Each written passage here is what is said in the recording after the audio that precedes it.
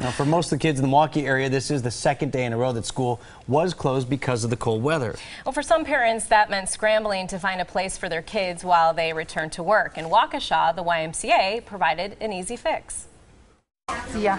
For working parents heading into a second day of canceled classes, options for childcare can be limited. Not too much panic, but but a little. It's kind of like, oh goodness, I can't miss another day of work. Amanda Delaney blew through a sick day Monday to take care of her daughter and 18-month-old twins. Panic did kind of set in because it's like, well, do I take them out in the cold? We do live in Wisconsin.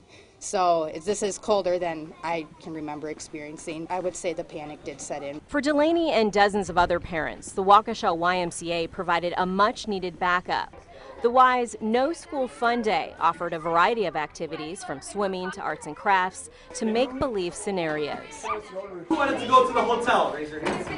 Come to the hotel, come with me. More than two dozen children celebrated their time off during playtime. Yeah, I'm excited to not have school. I really want to go to school because um, if we miss more days, then we don't get to, um, then we have to stay at school longer in June.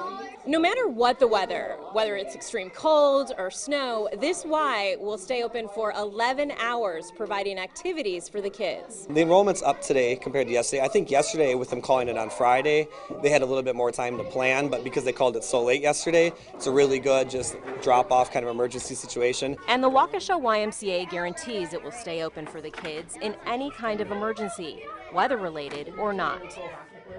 And if you're a Y member, it is $30 a day, $38 for a non member. Kids just need to bring a lunch and a swimsuit if they want to swim.